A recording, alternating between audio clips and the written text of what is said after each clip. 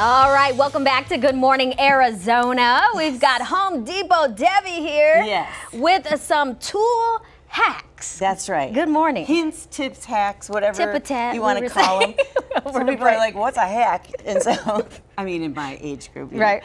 Um, anyway, these are just some hints and tips. Like, if you don't have what you need at home, Okay. there's like household things you can do to get you through your project. All right. And or help you out. So the first thing I want to talk about is magnetizing your tools. So some hammers come like this that Automatically say with it. magnetic nail holder. But if you don't have that, you know, this one here is an awesome hammer, but the nails don't stick to it, you see? Okay. And you can, but weirdly enough, the magnet sticks to it, and then you can stick your nails to it and have nails right there for you when you need them. Hmm. You can also hot glue the magnet to it if you want a little more stability. The hammer. But isn't that weird that the magnet sticks to it, but, But the not nails nail? don't. I mean, I just thought that was strange. And Does then- that one stick on that?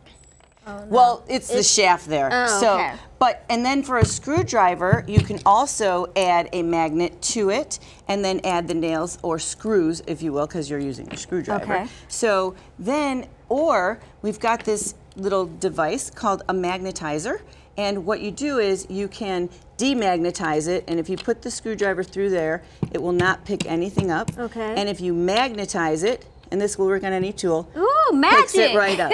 so this is a great little tool to have. and Then you don't have to add anything to it. Um, isn't that awesome? Yeah. So then also another little uh, little trick is people don't realize with a utility knife Mm-hmm. these are the break off blades, right?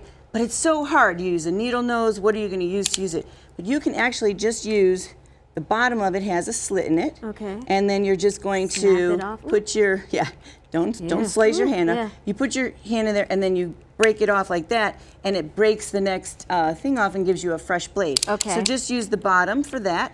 And then this is a really fun little thing. So if you don't have a wrench and you need to uh, screw a bolt, all you have to do is take a longer bolt, and you might have this in the toolbox, two nuts, Mm-hmm. one all the way to the end, and you're just going to put it right it. there and you're going to lock it in and then this is going to turn it for you. So if you don't have a wrench, you can use other nuts and bolts to screw it for you.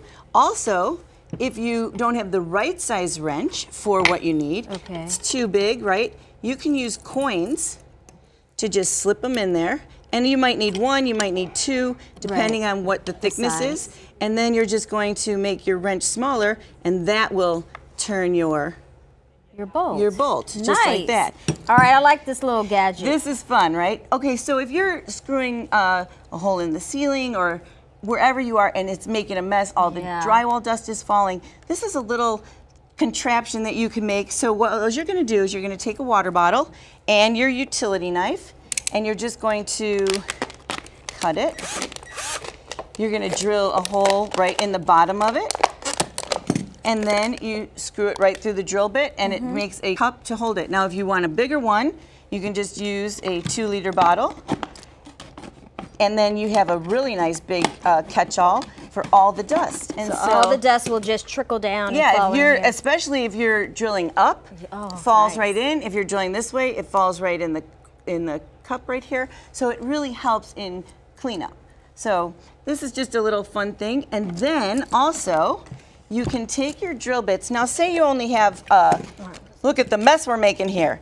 Say you just have you want to go a certain depth, Okay. but you you're worried. I'm going to go too far. All right. Well, this is really fast. Okay. You don't want to go too far. You're just going to put your tape exactly where you want it. Measure down, put your tape there. So when you're drilling in, you're You know only going to go. that far. And then at 9:20, we're going to have so many more of these fun little hints and tips to get you through your projects. All right, thank you, Home Depot, All Debbie. right. That's your tool hack.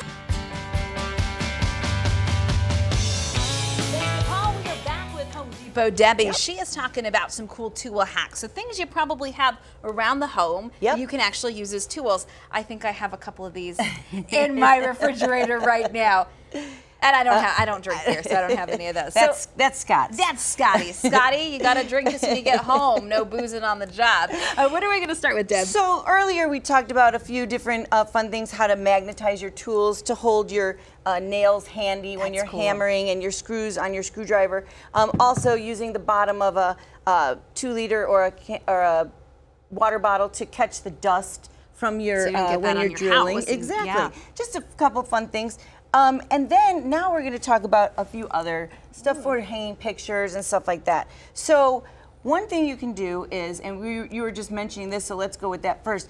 If you don't have a hook, you know, we have all these uh, great hooks at Home Depot, but if you don't have one handy and you have to hang a picture, you can use the tab right from a can. And that's just why I have this, so you can uh, use any tab. Okay. I hot glued it onto the back, but you can screw it onto the Oh. back. You're gonna bend the top down. And it feels sturdy. It is very sturdy. And then we're just gonna hang it right on the uh, screw right there, and There we go. So that's something really easy, and everybody's got some. Uh, I have never seen that hanging around. Very clever. Thank you. The next one um, you can do is. I have a lot of these everywhere. This is a fine tooth comb, and this is great for when you're hammering. Instead of having your fingers in the way, Uh-huh. you can just put the uh, comb there to hold the nail, and that will give you a nice sturdy um, hold, so you don't get your fingers involved. So just a little, another little, just a little something.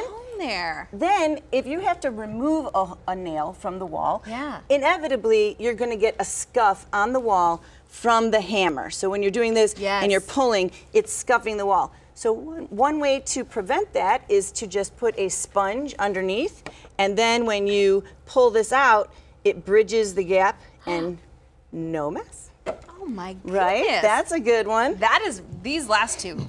All Now- of them have been great. Here's another one that's uh, it's been around for a long time, but people forget about it. So say one of your uh, screws that's holding the hinge on your door or anything in wood is getting loose and a little stripped, but you need to use that same screw. All you need to do is use some flat toothpicks.